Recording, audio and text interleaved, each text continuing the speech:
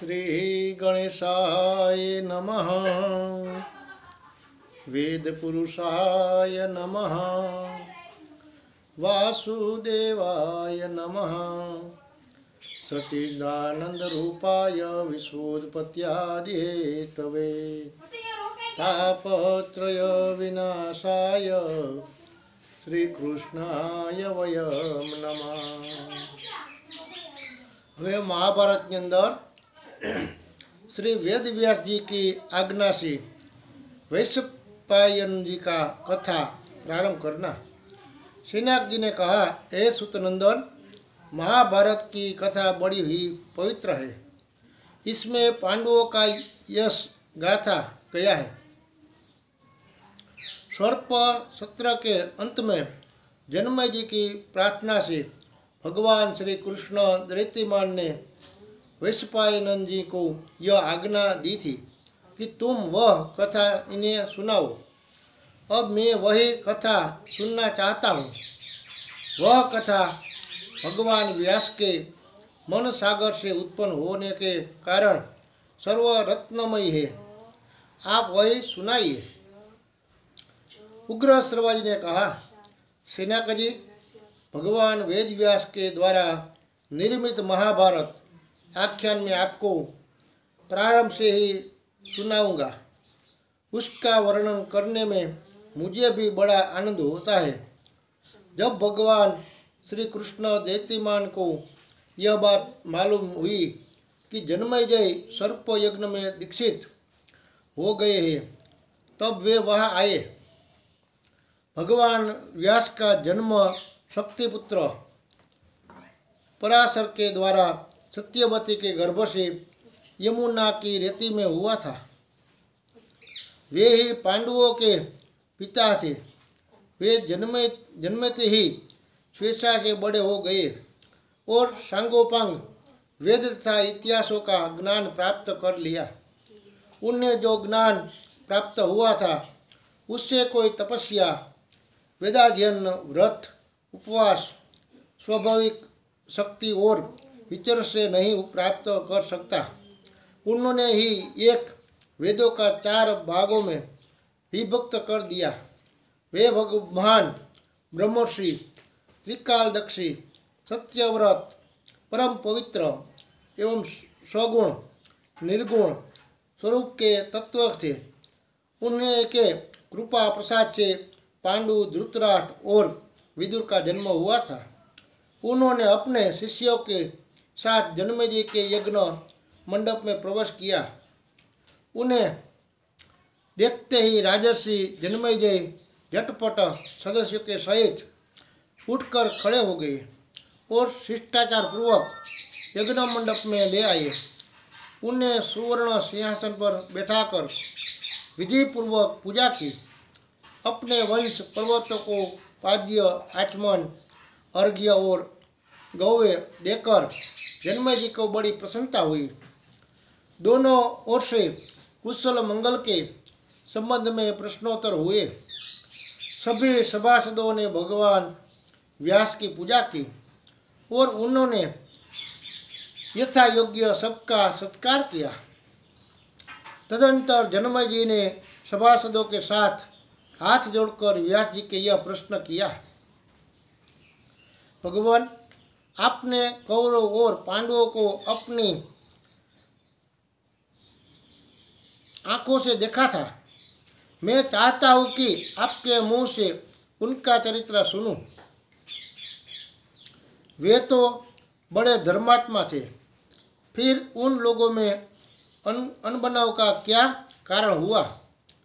उस घोर संग्राम के होने की नौबत कैसे आ गई? उसके कारण तो प्राणियों का बड़ा ही विघ्नस हुआ है। अवश्य ही देववंश उनका मन युद्ध की ओर झुक गया हो, गया होगा। आप कृपा करके मुझे उसका पूरा विवरण सुनाइए। जन्मय जी की यह बात सुनकर भगवान वेदव्यास ने पास ही बैठे हुए अपने शिष्य वैश्यपान से कहा, वैश्यपान कौरव और पांडवों में जिस प्रकार फूट पड़ी थी, वह सब तुम मुझसे सुन सुन चुके हो। अब वही बात तुम जन्म जी को सुना दो। अपने पूज्य गुरुदेव की आज्ञा सुनकर भरी सभा में वैश्यपान जी ने कहा, कहना प्रारंभ किया। वैश्यपान जी ने कहा, मैं संकल्प, विचार और समाधि के द्वारा गुरुदेव को नमस्कार करता हूँ। तथा सभी ब्राह्मण और विद्वानों का सम्मान करके करके परम ज्ञानी भगवान व्यास का मत सुनाता हूँ।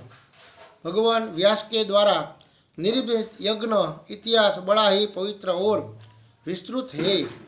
उन्होंने पुण्यात्मा पांडवों की यह कथा एक लाख श्लोकों में कही है। इससे वक्ता और श्रोता ब्रह्मलोक में जाकर देवताओं के समक्ष हो जाते हैं। यह पवित्र और उत्तम पुराण वेद तुल्य है। सुनने योग्य कथाओं में सर्वोत्तम है और बड़े बड़े ऋषियों ने इसकी प्रशंसा की है। इस इतिहास ग्रंथ में अर्थ और काम की प्राप्ति के धर्मानुकूल उपाय बताए बताए गए हैं। तथा इससे मोक्ष तत्वों को पहचानने वाली बुद्धि भी प्राप्त हो जाती है। इसके श्रवण, कीर्तन से मनुष्य सारे पापों से छूट जाता है। इस इतिहास का नाम जय जय है।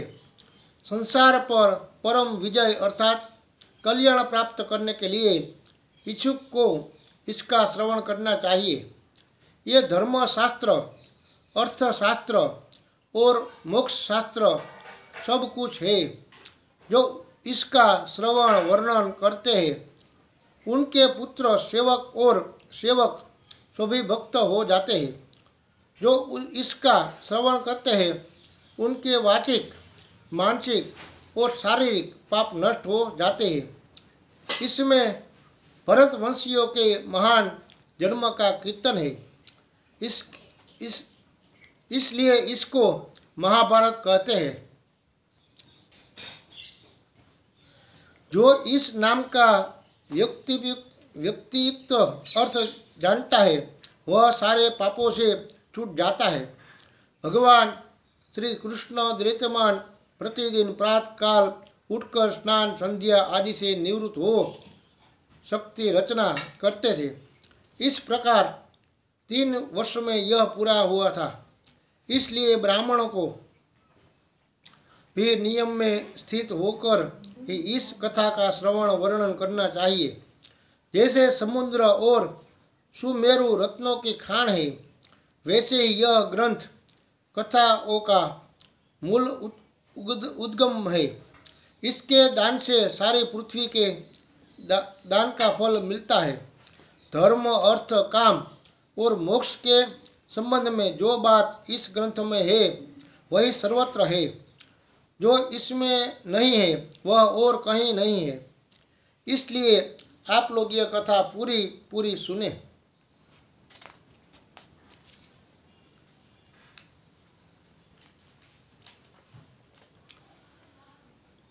भूभू भूभार हरण के लिए देवताओं के अवतार ग्रहण के निर्णय। वैश्यपान जी कहते हैं, जन्मजय जन्मदिन नंदन परशुराम ने इस 21 बार पृथ्वी के क्षत्रियों का सार किया।